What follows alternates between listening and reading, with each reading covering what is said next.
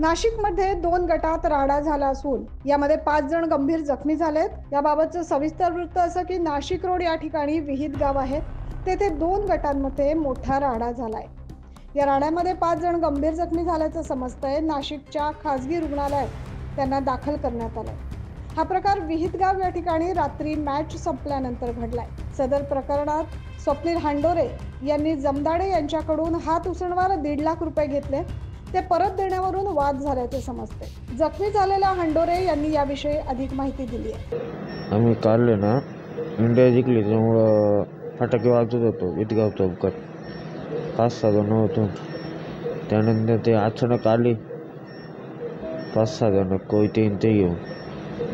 आणि त्यांनी डायरेक्ट मारायला सुरुवात केली. जुने वाद होते. त्याच्यावरून त्यांनी डायरेक्ट मारहाण केली. त्यांच्याकडे बंदूक वगैरे कोयते वगैरे सगळे होते. तीन चार जणांवरती वार केला. पाच सहा जण जखमी.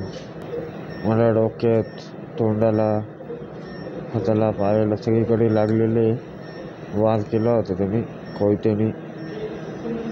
रोहित जमदडे या व्यक्तीने.